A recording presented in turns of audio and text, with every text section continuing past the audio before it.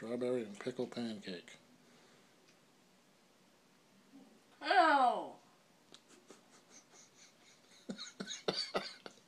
You know what today is? What? April Fool's Day! Yeah. and I tasted something in there.